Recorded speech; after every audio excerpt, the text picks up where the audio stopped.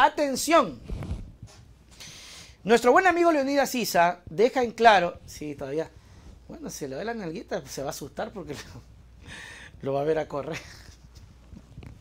Oiga, sí sabe que alguien cogió ese pedacito que yo dije el otro día. Uta, y ahora soy, soy este, soy este viral en el TikTok.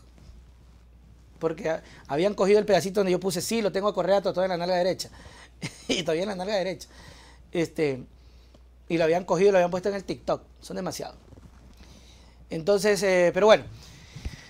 Eh, Leonidas Sisa, mis queridos amigos, dice que que no va a negociar, o sea, que, que, no, que Correa no va a gobernar, llegando a verse el caso. Dice que ve a Visora muy difícil el tema de la unidad y que no está en la política del odio ni tampoco en la política del recuerdo. Pero eso sí, dejen claro que Correa no va a gobernar. Tengo aquí el detalle, os tengo las palabras, pónganlo por favor. Así que no he quedado en la política del recuerdo ni del odio. Y sinceramente, con todo lo que significó el gobierno de Correa, ya como persona creo que las condiciones políticas, jurídicas de ahora es imposible que pueda volver a gobernar. Pero ¿por qué tenemos que quedar en esa parcialización de ese momento?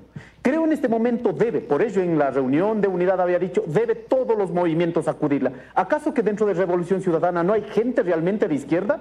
¿Hay gente dispuesta a luchar? Como lo mismo hay en los partidos políticos de derecha. Nuestra gente empobrecida están. Por lo tanto, invitamos a que un sector de todos los movimientos podamos pensar y repensar en este país. Y permítame con esto finalizo esta pregunta.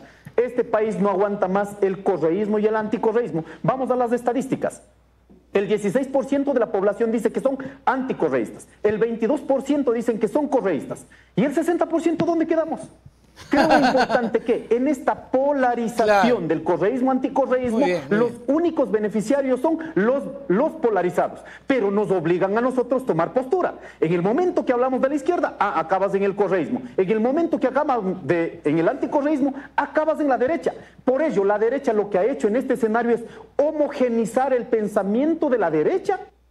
Muy bien, ah, muy bien, este, muy claro, ah, muy claro. Este, y es cierto, ¿no? ¿En dónde está ese 60%? Y yo también me lo pregunto. Yo también me lo pregunto. Porque es cierto, o sea, por más esfuerzo que yo haga, eh, yo, a, mí la gente me va a decir correísta, izquierda, no me molesta para nada. Eh, tampoco es que estoy, puchiga, eh, voy todas las noches a llorar. No, yo estoy feliz, estoy contento.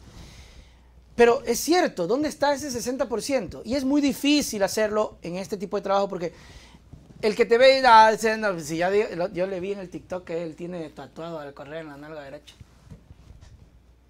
Oye, mira ese man, el gordito da chévere. Sí, pero es correísta. No, no creo que sea correísta. Cualquier rato, porque anda desesperado porque ya no tiene plata. Cualquier rato por un super chat, enseña la nalga. Por esta. Tienes que estar pendiente nomás. Y ahí tú le vas a ver que el man no tiene la careta del correa en la nalga derecha. Eh, por eso es que yo no lo veo. ¿No qué? No, no creo, ¿ves?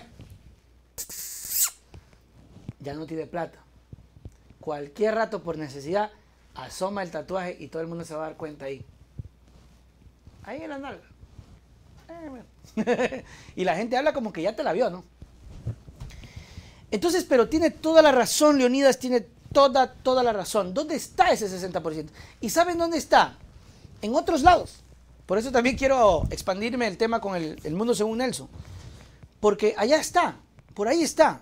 Está en un gran sector de la sociedad en donde no está dispuesta a seguir en el correísmo y en el anticorreísmo.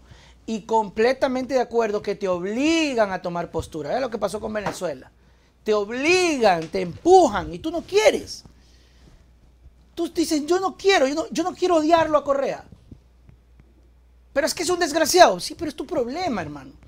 Yo no quiero odiarlo, yo no quiero odiarlo. Porque, porque no me nace, porque humanamente no soy así. Entonces tienes que odiarlo a Novoa. Pero ¿y por qué? ¿Por qué? No, yo quiero que Novoa responda. Y hasta ahora siento que no ha respondido. Bueno, si no ha respondido, tengo la oportunidad de las urnas y le voy a castigar en las urnas. Pero no me pidas que lo odie. En serio, de verdad, hay un gran sector que para nada, súper formalito en ese sentido. Déjenme igual dar la redacción, mis queridos amigos, porque hay otras cosas, ¿no? La convención de izquierdas realizada el pasado 31 de julio sigue generando reacciones. Esta vez fue el líder indígena Leonidas Isa quien se refirió a una posible unión de grupos. Según reconoció Isa en una entrevista, la llamada unión de los movimientos de izquierda solo le favorecen a los partidos que apoyan la polarización política en Ecuador, como el correísmo y la derecha. Este país no aguanta más a los correístas, y no, al correísmo y al anticorreísmo, al concepto no a los correístas, por si acaso, debo aclarar. Creo que en esta polarización los únicos que se benefician son los polarizados y nos obligan a tomar posturas. Concretamente sobre el correísmo, Isa señaló que bajo las condiciones políticas y jurídicas es imposible que Correa vuelva a gobernar. Bueno, si es que ganan las elecciones, ahí sí. No hay que quedarse en la política del odio ni del recuerdo. Aseguró además que el encuentro de las izquierdas realizado en Quito, los movimientos y gremios participantes no, no dialogaron sobre un candidato único de esa postura, sino sobre problemas estructurales. Bueno, me parece error porque deberían hablar ya de candidatos. Tienen que hablar de candidatos. Isa, quien es precandidato por Pachacuti y del brazo político de la CONAIE, ha sido calificado por el expresidente Correa como sesgado. Además, el líder del correísmo rechazó la participación de la, presidenta de la RC, Luisa González, en este convenio. Sin embargo, luego de, luego de dar su postura, Correa reconoció que las cosas deben ser más las que unan que las que desunan. Y que eventualmente la unión tendrá un mejor resultado. La gran pregunta es si se puede dar la unión. Y por eso es que les digo a ustedes que posiblemente Novoa termine triunfando.